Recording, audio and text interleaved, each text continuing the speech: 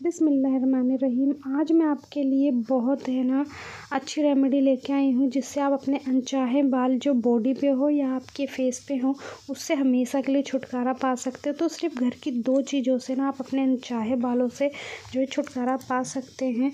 तो इस वीडियो को पूरा देखिएगा, कोई भी स्टेप आप ना मिस मत कीजिएगा। इसलिए वीडियो को स्किप मत करिएगा, छोटा सा वीडियो पूरा देखिएगा। और चैनल पर फ़र्स्ट टाइम है तो चैनल को सब्सक्राइब करके अपनी बहन को सपोर्ट कीजिएगा। स्टेप बाय स्टेप आपको सारा प्रोसेस दिखाएँगे और अनचाहे बालों से आपको भी छुटकारा हम दिलाएँगे। इसलिए आइए वीडियो आप लोगों के साथ शेयर कर रहे हैं, क्योंकि हम लड़कियाँ जो होती हैं ना, उनको जो है इस तरह की जो है वीडियो बहुत ही काम आने वाली है। तो सबसे पहले हमारा जो इन्ग्रीडियंट है, वो है चीनी। और चीनी है ना, बहुत अच्छा स्क्रब का काम करता है। साथ ही ये जो है छोटे छोटे जो रुए होते हैं ना अनवांटेड हेयर होते हैं, उसे साफ़ करने में बहुत हेल्पफुल होता है। और हमारी स्किन में जो डेड सेल्स होती है ना, उसे भी ना ये रिमूव करता है। और जो बहुत अच्छा ग्लो भी लाता है यह हमारे फेस पे तो इसलिए चीनी इसका हमने यूज़ करा है इस रेमेडी के लिए।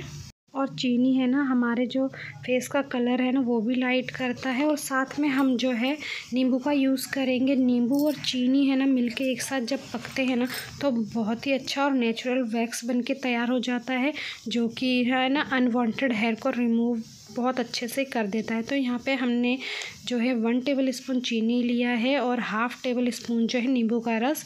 और सिर्फ़ ये दो इंग्रेडिएंट है ना, अभी कमाल दिखाने वाले हैं आपको। तो यहाँ पे गैस पे रख लिया है, बिल्कुल लो फ्लेम पे रखेंगे और पंद्रह से तीस सेकंड के अंदर है ना ये चीनी मेल्ट हो जाएगी।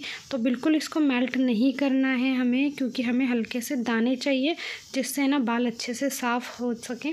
तो देखिए, इस तरह से करना है आपको और चलाना है। अगर नहीं चलाएँगे ना तो साइडों से ना जलने लग जाएगा तो इस तरह से ज़रूर चलाइएगा। अब हमने गैस को बंद कर दिया है और बंद करने के बाद है ना, आपको एक इंग्रेडिएंट और लेना है, जो कि है ना आपके फेस के लिए ना बहुत अच्छा है। स्किन के लिए बहुत अच्छा अगर हाथों पर लगाते हैं तो भी और फेस पर लगाते हैं तो भी आपको इसे ज़रूर से ज़रूर मिलाना है और ये सब घर में मिल जाता तो ये है हनी, जो कि है ना बहुत अच्छा ना, बॉडी को हाइड्रेट करता है, नरिश करता है और जिसके ड्राई स्किन है ना, वो थोड़ा इसमें एक्स्ट्रा डाल देना, एक दो ड्रॉप्स और तो उनकी स्किन और अच्छी होएगी और और जिन लोगों के वैक्स के बाद है ना, लाल दाने आ जाते हैं ईचिंग होती है तो वो हनी मिला के करेंगे ना, उनको कुछ भी नहीं होगा और बिल्कुल सेफ़ रहेंगे आपकी स्किन तो यहाँ देखिए, मैं अपने हाथ पे यूज़ करके दिखाती हूँ आपको तो मेरे हाथ में भी ना, देखिए, कम बाल है, बहुत ज़्यादा बाल नहीं, क्योंकि मैं यही रेमेडी जो है फॉलो करती हूँ.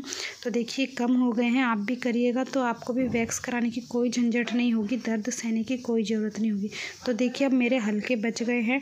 तो ये रेमेडी ना, आपको एक ही बार में ना, ये नहीं होगा कि वैक्स की तरह काम करेगी कि एक ही बार में आपके सारे बाल हट जाएँगे। धीरे करते करते ना आपके बिल्कुल साफ़ हो जाएँगे और फिर एक दिन ऐसा होगा आपका हाथ या जो भी आपकी स्किन होगी ना फेस की अपर लिप्स तो एकदम साफ़ हो जाएगी। तो देखिए, इस तरह से ना, इसे लेना है और बहुत ज़्यादा गर्म गर्म नहीं लगाना है। और यहाँ देखिए, इसको एक मिनट के लिए ना मैंने छोड़ दिया था और अब मैं जो इसको अपोजिट डायरेक्शन में, जहाँ बालों की डायरेक्शन है ना, वहाँ नहीं अपोजिट डायरेक्शन में इसे ना ऊपर की तरफ़ इस तरह से लेके स्क्रब करना है। तो उससे जो भी हमारे रुए होंगे ना, वो ना टूटेंगे और जो है हमारा जो है अनवांटेड हेयर से हमें छुटकारा मिलेगा। तो आप भी इसी तरह से करिएगा। क्योंकि जब आपने देखा होगा वैक्स भी करते हैं ना तो उसे अपोजिट डायरेक्शन में ही पट्टी लगा के खींचा जाता है, उसी से बाल हटते हैं। तो हम वैक्स तो नहीं कर रहे, लेकिन इस तरह से कर रहे तो इसमें भी अपोजिट डायरेक्शन में ही आपको करना है। फिर मैंने ना कॉटन को थोड़ा सा ना गीला करा और इस तरह से साफ़ करा तो आप फ़र्क देख सकते हैं। तो आपको वीडियो कैसा लगा कमेंट करके बताइएगा और अपनी बहन को ज़रूर से ज़रूर ज़रूर सपोर्ट कीजिएगा। मिलते हैं नेक्स्ट वीडियो में, इंशाल्लाह। अस्सलाम वालेकुम।